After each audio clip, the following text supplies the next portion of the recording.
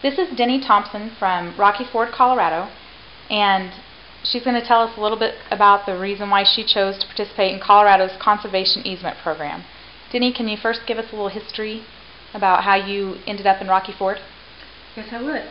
I am originally from Imperial Valley in Southern California.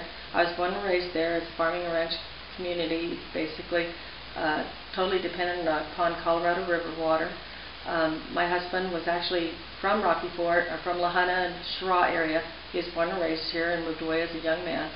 Um, he had had a serious car accident and become disabled in 1995 and it took us three years to get that resolved. And then in 1998 we decided we needed a change of pace so we moved out here and bought this little small farm. It's uh, 28 acres. I went to work for Otero County Commissioner's Office uh, within two weeks of moving here and um, this life was great. And then in 2002, I actually lost him to, to cancer. Uh, changed my life. I didn't know what I was going to do. My mom was here in the area. She'd already moved out here from California uh, to be close to me. And I just decided that, well, I've got a good job. I'm going to stick around. Um, I like the, the rural lifestyle, very much like what I came from. And uh, decided to make my life here. Can you tell us what future rights to your land you gave up by participating in the Conservation Easement Program? I can. Um, I actually gave up the right to subdivide, to develop, uh, right to mine uh, gravel or minerals, the right to uh, have a feedlot or have a landfill, paving, um, but my most precious right is the right to separate my water from the land. So this farm actually has to be kept in agricultural production forever. I can't have, I can't do any industrial um, production on this property. So that's my rights that I have given up. And how did you choose the appraiser who did your conservation easement? Well, uh, in 2002, after my husband passed away, the Otero County Commissioner's Office, or the Otero County uh, Commissioners, uh, started structuring a conservation easement program in Otero County in order to save the water keep the water uh, from leaving the valley.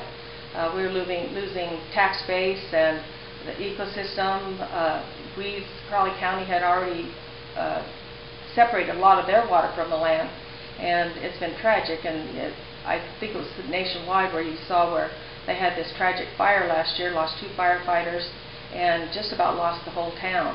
And th these are things they were trying to protect. Well, um, during that process, I kind of watched it grow, lived, working for the county, and I chose to go ahead and do, donate an easement on my property. Well, as far as choosing the appraiser, when I selected to uh, start participating in this program that the commissioners were offering, um, they handed out a packet to anybody that was interested. So I got that packet and I did my homework and I looked into the appraisers and all the other things that I required uh, for don donating my easement and um, there was a, a listing of appraisers in there, and my appraiser that I finally selected was on that list. However, I didn't just select him from the list. I did my homework. I found out that he was a, a certified general appraiser, which is a qualification uh, that is required, that he had actually done appraisals for the state, that he had already uh, done appraisals in the conservation easement field, he had done appraisals for the Palmer Land Trust and for the Colorado Cattlemen's Association. Therefore, that's why I felt securely that Mr. John Stroh was qualified. I didn't know him or hadn't talked to him before the time that I uh, uh, asked for his services and before the day that he actually came out uh, to appraise my property.